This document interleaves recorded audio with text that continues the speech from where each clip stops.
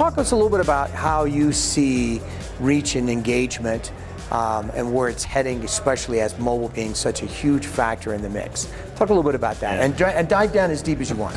Well, I think that um, I mean, some of the good things that we have, especially in, in, terms of pure measurement of you know reach and engagement, is the the development of the tools that we have. So if we're looking at the likes of even just like three day, you know, we get new tools every day to help us measure, and we've always, as mobile guys, we've been like, you know, how do we measure all this stuff? But I think recently, even th like three days ago, we had ComScore release um, their new product, which enables you know cross-device, um, you know, deduplication of audiences and stuff like that. Um, and we have uh, Google's products such as Active Lift being moved across onto the mobile channel as well. So I think we're really in a sweet spot for that, um, or at least we're getting further away from the bad spot we were in.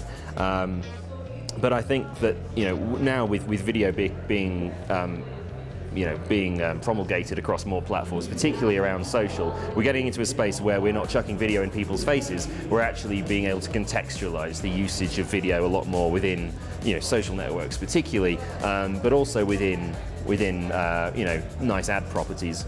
One of my favorite examples of that recently is, um, is you know, when you look at what T-Mobile did around the Super Bowl this year, you know, you know, typically you try and go for a big broadcast TV play, but T-Mobile's uh, option this year was to go for a mobile video play in partnership with NBC, which I think is a really interesting kind of alternative way to get video contextualized into how people are, are relating to it.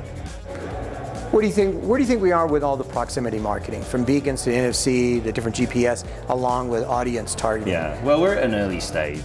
Um, obviously, you know, the GPS proximity products are, are, getting better, and I think there are guys like ThinkNear who are who are moving that game forward. The beacon space for me is kind of interesting. Um, interesting in a in a difficult kind of way. Um, the, the, the big play for me, for beacons particularly, and this is the way we work with our clients on that area, is that it's not really a big ad play. You know, you have the likes of InMarket who are kind of, you know, putting in some beacon networks and stuff, which are, you know, delivering some nice early results in CPG. But for me, the, the big play for that is really a CRM play. You know, beacons have to be app-based, and so, you know, the obvious way to generate incremental sales for someone like a retailer is to embed beacon capability into their core CRM, their vouchering and the stuff they do, rather than kind of outsourcing that to, you know, to any brands to come into store.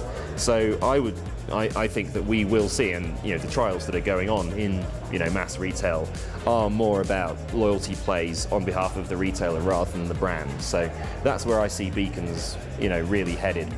The bigger issues around beacon is that most clients, you know, obviously some of the mass retailers have you know quite sophisticated loyalty, um, particularly you know outside the US. Um, but the bigger problem is that most brands don't have a, a big kind of uh, data infrastructure to enable, to enable them to deliver relevance and timeliness to their consumers when Beacon comes, I mean, when they're in proximity to a beacon. The worst thing you can do is to use Beacon to just spam the same message to everybody.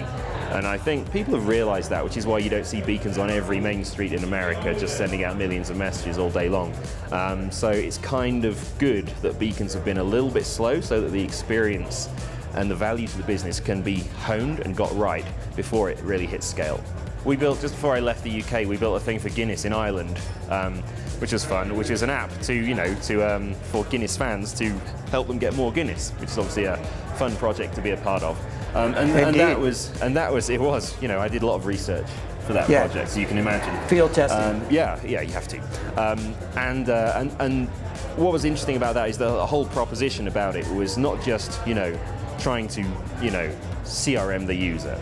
It was trying to interpolate the brand into their circle of friends, right? So it's not just drink a Guinness. It's like you and your friends who all like rugby should go and watch the game in the pub because it's a much more social and fun way to enjoy rugby and enjoy Guinness than just, you know, go and drink a Guinness. And so, so that kind of approach to... And pulling a, a, a professional Guinness from the tap is way better than oh, anything you get right, at home. Exactly, and more profitable. Yeah. Um, but it's also about the pubs. You know, sure. the pubs have a unique place in Irish life, and so to understand mobile's role in bringing people and their friends together into the pub, that's kind of an advanced use of mobile that I think is uh, is really nice these days.